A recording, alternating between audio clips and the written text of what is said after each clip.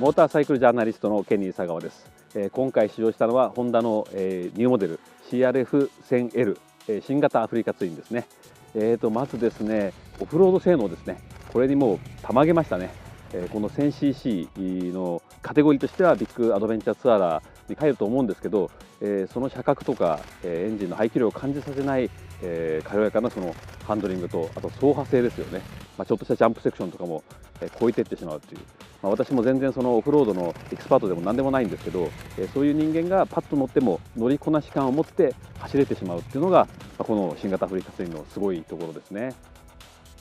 え、従来型のそのアフリカツインよりも、え、さらにこの、え、前後のアクスル間の距離が短くなったりとかですね、まあ、ディメンションが、え、かなり今現代化されてますね。あとはその前後のサスペンションのストロークションも長くなったりとかですね、え、オフロードの走破性に非常に重要とされる、え、最低地上高、もうこれもかなりアップしてまして、え、まさにこうオフロードを走破するための作りが施されているのがこの新型の特徴だと思いますね。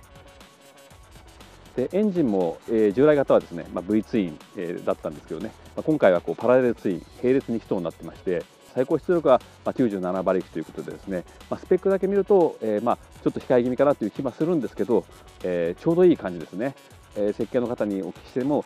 この新型アフリカツインに期待するその要求する性能から導き出されたこの車体だったりそのエンジンの排気量だったりパワーだったりということでこの時点でベストバランスに仕上げられているんではないかと、えー、私も思いました。であと DCT ですね。今日もその DCT とマニュアルミッション両方乗り越えましたが私としてはやはり DCT を押したいと思います。というのも明らかに DCT の方が、えー、疲れず楽にしかも速く走れちゃいます。こういったオフロードコースもですね。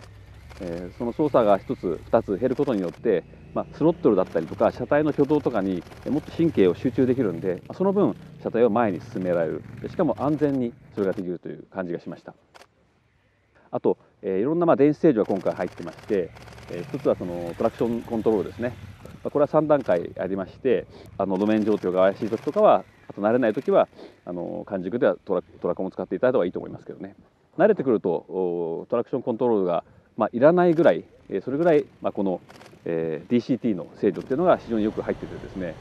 それがもともと DCT の持っているその、まあ、穏やかな特性だと思うんですけど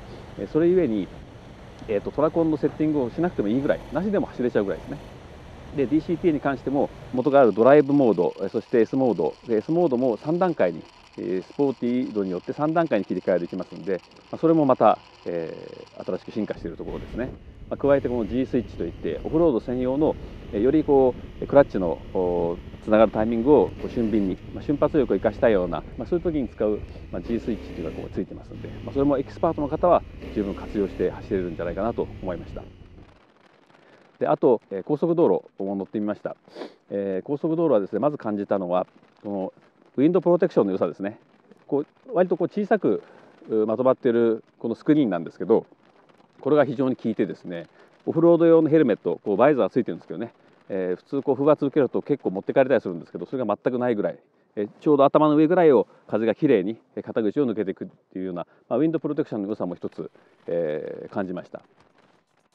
この新型えアフリカツインですけどね、えちょっと今までにないタイプの新しいジャンルを開拓したモデルになるのかなという気がしますね。あのビッグアドベンチャーやっぱり重量もありますしパワーもあり余るほどありましてね、どっちかっていうとオンロードツーリング志向の、えー、ライバルが多い中でこちらのアフリカツインはオフロード性能これにもかなり磨きをかけてきた、えー、ビッグアドベンチャーでありながらそういうバイクまさにあの世界中、えー、行きたいところにどこどこまでも行けるという、まあ、そういう気持ちにさせてくれるモデルだと思いました。